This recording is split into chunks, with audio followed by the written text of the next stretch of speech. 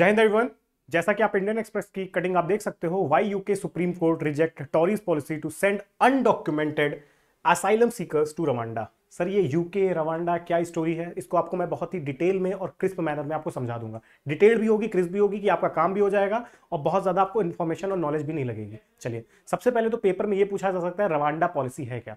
आप देखते होंगे कि यूके है जो यूरोप वाला रीजन है वहाँ पे बहुत सारे रिफ्यूजीज फॉर एन एग्ज़ाम्पल जैसे इराक है सीरिया है लेबनान है तो वहाँ सारे बहुत सारे रिफ्यूज मेडिटेरियन सी पार, करते हुए फ्रांस में जाके इंग्लिश चैनल को पार करते हुए कहाँ पहुँच जाते हैं? यूके में। वहाँ पे शरण ले लेते हैं शरणार्थी बन जाते हैं। रोहिंग्या वाला इशू आपने सुना होगा बांग्लादेश म्यांमार वाला? वैसे ही जैसे बांग्लादेश म्यांमार से इंडिया में लोग आ गए उसी तरीके से इराक सीरिया ये सब ऐसे एरिया है जो बहुत ही ज़्यादा हॉस्टाइल कंट्रीज़ हैं, बहुत ज़्यादा इन्होंने कष्ट झेला हुआ है तो वहाँ के जो लोग हैं, यहाँ पे चले आते हैं अपनी अच्छी लाइफ स्टाइल जीने के लिए।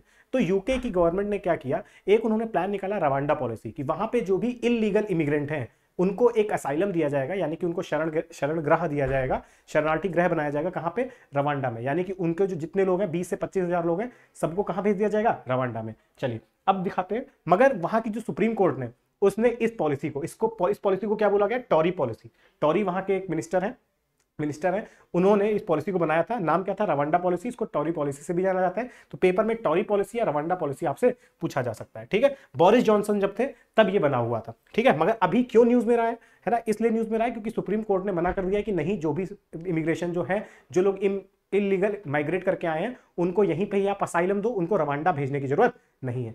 एक्चुअली अच्छा क्या ऐसा कोई और देश भी करते हैं? दुनिया में सबसे ज़्यादा, सबसे मतलब गिनतियों में सबसे ज़्यादा रिफ्यूजीज किस देश के अंदर है? साथ ही साथ भारत के अंदर क्या रिफ्यूजीज की स्थिति है? है ना? शरणार्थियों की स्थिति, इन सब के बारे में हम लोग अगले चार मिनट के अंदर जानने वाले तो United Kingdom has signed a deal with Rwanda to send देखो, अब ये बात करता हूँ एक साल, डेढ़ साल पहले की। आपकी जो न्यूज़ कटिंग दिखाई है अभी मुश्किल से एक या दो दिन पुरानी है। ठीक है सुप्रीम कोर्ट ने मना कर दिया इस पॉलिसी को अपनाने से। बोरिस जॉनसन जब वहाँ के पीएम थे एक साल पहले तो उन्होंने ये इस स्कीम को लेके आए थे, उनके मिनिस्टर लेके आए थे, ठीक है? United Kingdom has signed a deal with Rwanda to send some asylum seekers to the East African nation a move that Prime Minister Boris Johnson confuse मत होगा इस समय ऋषि सुनाक है क्योंकि एक साल पुरानी स्कीम है save countless life from human trafficking देखिए कहानी बता रहे हैं, ये अपनी तरफ़ से बता रहे हैं कि हम लोग वहाँ भेज देंगे ताकि ह्यूमन ट्रैफिकिंग कम हो सके।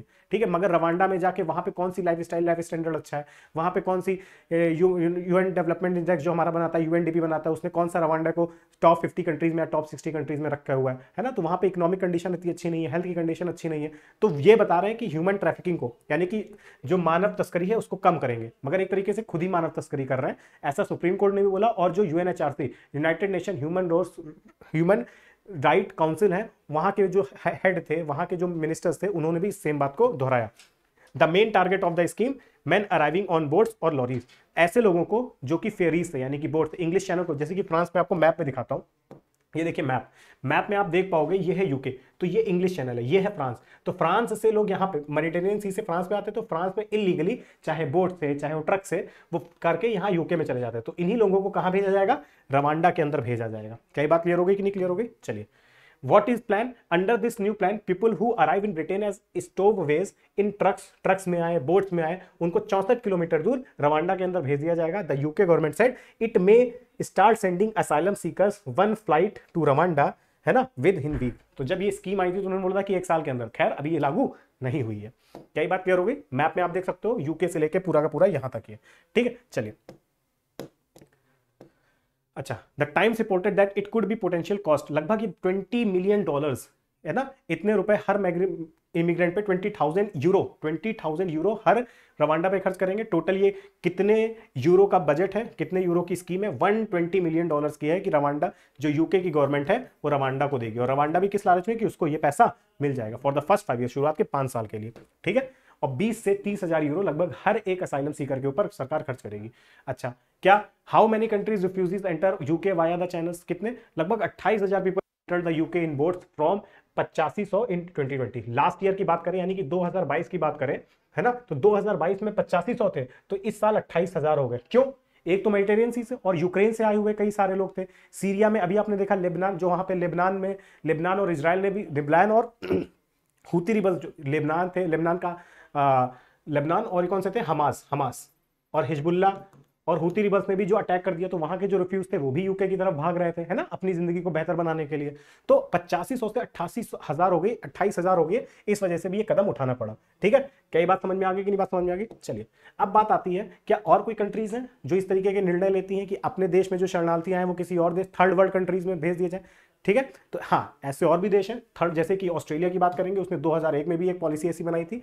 And in 2013 it hard and its immigration law to deny resettlement visas to asylum seekers arriving by boat देखिए यूके जो है, उसकी असल में प्रॉब्लम ही यही है कि हम लोग के भारत के साथ भी वो फ्री ट्रेड एग्रीमेंट नहीं कर पा रहे क्यों? कारण उसका है। क्योंकि वो कह, इंडिया कह रहा है कि हमारे कई सारे जो व्यापारी हैं या फिर कई सारे जो स्टूडेंट्स हैं उनको वहाँ पे परमानेंट रेजिस्टेंस देने का वादा करिए है ना? उनको फ्री वीज़ा देने की मतलब वीज़ा ऑन अराइवल देने की सुविधा रखिए या फिर वीज़ा को हटा ही दीजिए। मगर जो यूके है यूके की गवर्नमेंट के ऊपर जो वहाँ की जनता है, उसका दबाव चल रहा है। क्या कह रहा है कि वहाँ पे जन, लोग बढ़ते जा रहे हैं। लोग बढ़ते जा रहे हैं तो वहाँ के जो नेटिव है, जो वहाँ के खास लोग हैं, उनकी गिनती कम होती जा रही है। दुनिया भर से बाहर के आए लोग दोष वहाँ पे आ जा रहे हैं। तो वहाँ की जनता भी सरकार के ऊपर दबाव बना रही है कि हम लोगों की पहचान कम होती जा रही है और दूसरे देश के लोग आते जा रहे हैं। इसी तरीके से अगर मैं बात कर रहा हूँ कि दूसरे देशों में, बिल्कुल ऑस्ट्रेलिया के अंदर भी इस तरीके की स्कीम 2001 और 2013 के अंदर चलाई गई है।